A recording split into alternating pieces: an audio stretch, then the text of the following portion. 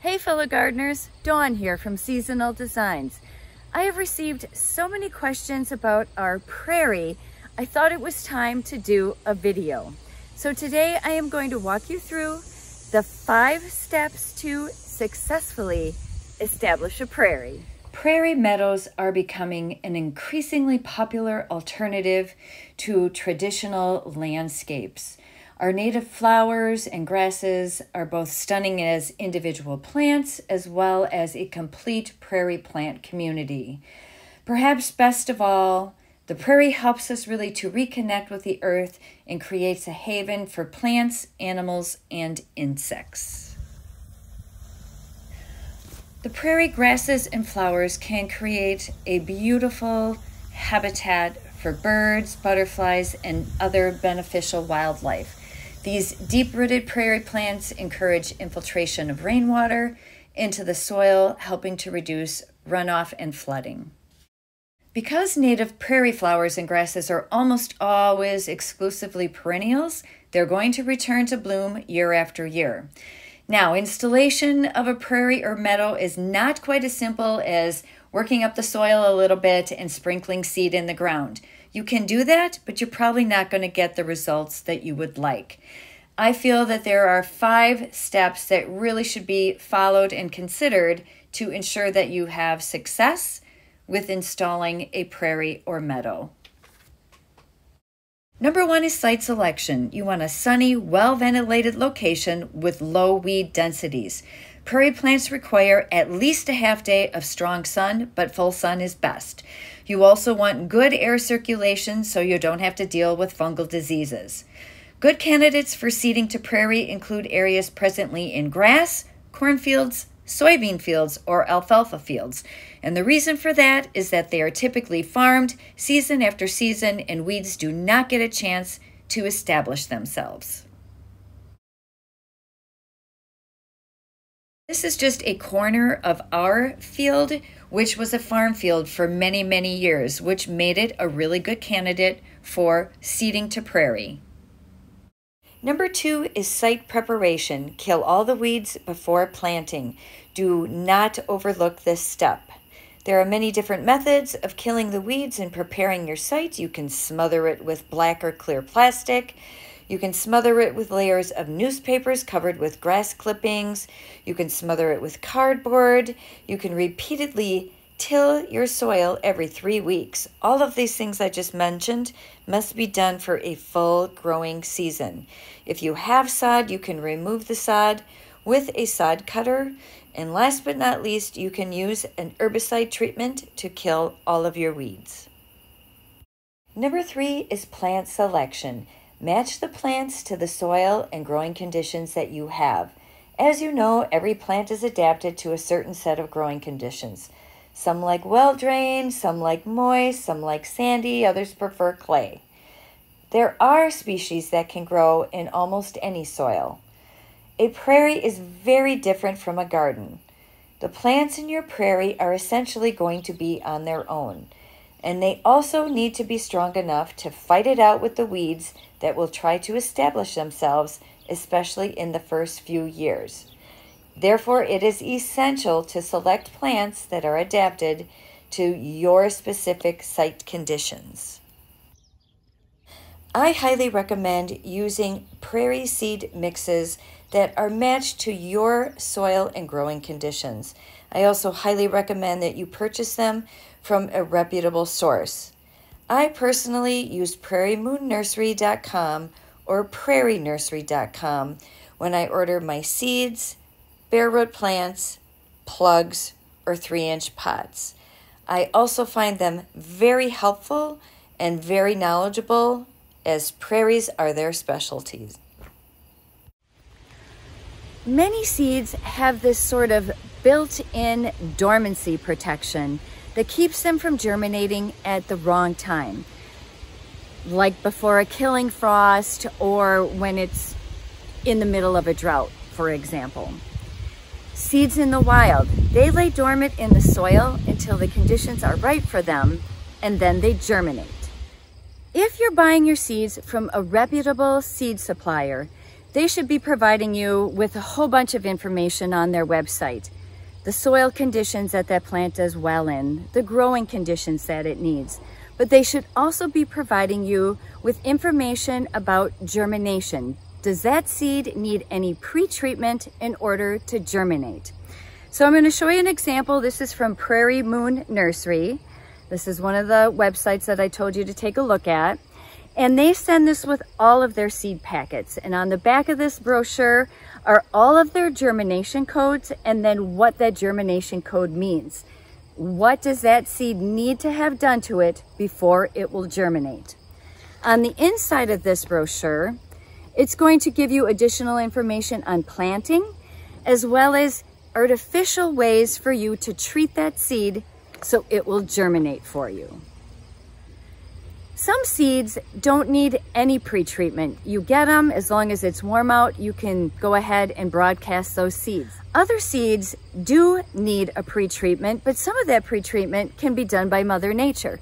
For example, some seeds need what's called a cold moist stratification. So I can do that by taking those seeds and broadcasting them in fall because in winter they're gonna get their cold period and then when that snow melts in spring and we get rain, they get that moist period. The other thing I wanna mention is seed quality. You, you know, there isn't an agency that's out there to kind of watch over seed quality for prairie seeds as far as I know. So again, you're really gonna wanna work with a reputable seed supplier because the success of your prairie is gonna be directly related to the viability of the seed that you put down. So do not accept, don't buy cheap seed. It Number four is planting time and method. Prairie seeds can be successfully planted during two times. The first is spring thaw through June 30th, and the second is September 1st through the soil freezing up. Obviously, planting in July and August, not recommended due to drought. Now, if you plant in spring, that tends to favor the warm season prairie grasses, and if you seed in fall, that typically results in a higher germination of the prairie flowers and a lower germination of the warm season prairie grasses. Fall plantings are often referred to as dormant seedings because when you throw those seeds out, they are not going to come up in fall when you plant them. They're going to overwinter in the soil and germinate the following spring. As far as planting methods go, depending on the size of your site, you could hand broadcast, you could use a small hand seeder or a small push seeder. For larger areas, you could also use a no-till seeder. Just remember that most native seeds need good contact with the soil for germination. Number five is planting site management, mowing and burning. In the first year, your prairie seedlings are only going to grow a few inches tall. You need to mow the prairie down when it reaches about 12 inches and you're going to cut it back to 6 inches. That way you're mowing the weeds but not touching your prairie plants. In the second year, your prairie plants will be taller, so you're going to want to keep the field mowed at about 12 inches tall. In the beginning of the third season, you are going to burn off your prairie in about mid-spring. And here in Wisconsin, that is typically April 15th to about May 1st. Biennial weeds will likely appear in the second year. Those could include sweet clover, burdock, wild parsnip, and Queen Anne's lace. Biennial weeds should be mowed when they are in full bloom, but before setting seed. This usually is around mid-June. Now you know the best practices for establishing a prairie. Now let me tell you how we established ours. So this prairie is about seven and a half acres in totality and it has been here for about 28 years. 28 years ago, there YouTube wasn't around. I couldn't go online and I couldn't search for, you know, best practices for starting or establishing a prairie because it just wasn't there. My point is that there really wasn't a lot out there as far as resources for us to go to um, to establish a prairie. We knew that we wanted, when we purchased this land, we wanted to be surrounded by nature and by beauty, and we knew that we wanted a prairie. So we set out to just kind of do it ourselves. So we purchased our land, half woods, half of it at the time was a farm field. And the year that we decided to have the farmer till it under, I believe it was in corn. The year before that, I think it was in soybeans. So the farmer tilled up the entire um, acreage for us and then we hand seeded it. So we broadcast it by hand. We had a seeder that we just kind of walked across the entire prairie. And then we, my husband built a drag out of crates. We had a rope on it and we pulled, we literally dragged seven and a half acres by hand, the two of us. Now keep in mind, this was 28 years ago. So we knew enough to do a few of those things correctly, which is great. But then after that, that was it. We, you know, no water, Mother Nature, it was up to Mother Nature for rain and sunshine.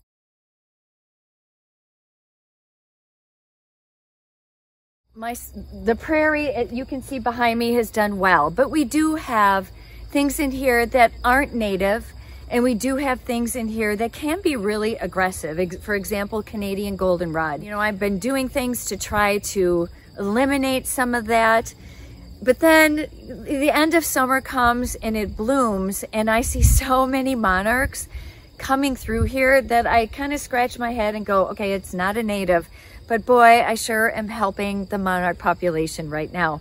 So it's really kind of a give and take. Prairies are low maintenance, but they're not no maintenance. And if you let them get away from you, they will become high maintenance pretty quickly. No matter how good your prairie looks, you're always going to want to keep an eye out for weeds that are going to inevitably make their way into your prairie. Queen Anne's lace seeds may lie dormant and pop up from time to time. Birds drop seeds in. Tree seedlings may start popping up from trees that might be located around your prairie. You just really need to keep an eye out for these things. And once you see something, you want to try to get after it. For Queen Anne's lace, you can simply pull these out by their roots, usually after a good rain. It takes a little firm pressure, and typically the whole thing comes out. For things like little trees and heavy duty vines, you're going to want to use something like this stump out. But the other thing we do a lot of is we really enjoy our prairie and the beauty that we created by planting it. I walk through here every morning with our dog Anna and really just enjoy what is going on in here. And you never know what you're going to see out here. Sometimes uh, we see the sandhill cranes that might be down in the back part of the prairie. There are times my husband and I have sat on our hillside really quiet and watched the fox family and the way they play and tumble around in the tall grass of the prairie. There's just so much beauty to enjoy, and I'm very happy that we took the time and the effort to put this in. Now, keep in mind that you don't have to have a lot of land to establish a prairie or a meadow. You could do it on a, you know, an acre lot or a quarter acre or an eighth of an acre, you could take the corner, the back corner of your suburban lot and change it into a prairie. So I, I think that it, prairies can be any size. And if you do establish a smaller prairie, you actually could probably start with plugs or plants as well as seed because you would be able to kind of give it that water that it would need in the first year um, while it's growing. So I don't want you to think that it has to be large. You know, the only reason that we use seed here is because it was such a large piece of property and there was no way we could water it. So it literally was up to Mother Nature. You know, you can tell I really love the prairie and I think everybody should have a little piece of it where, wherever you are. Now, there's a couple of things that, um, besides prairiemoonnursery.com and prairienursery.com, there's also a book that I really like. and it's by Benjamin Vogt and it's called Prairie Up. And he has a lot of great information in here about plants, about prairies, about establishing a prairie. He has lists in here of plants that do well in full sun, part sun, and shade. He also has some ideas for creating a garden in a suburban setting because I, I believe that his home is in more of a suburban setting and he has established a prairie in his yard. So if you are looking for some, you know, good ideas, um, I found this book very helpful. Again, I found it on Amazon. So I will put all of this information, both of the websites, the name of the book and the author in the description of this video. If you have any questions, pop it in the comment section below or email me at seasonaldesignsbydawn112 at yahoo.com. I hope that you found this helpful and I hope every one of you considers establishing your little piece of prairie or meadow. Thank you so much for watching, you guys. We'll see you in the next one. Bye-bye.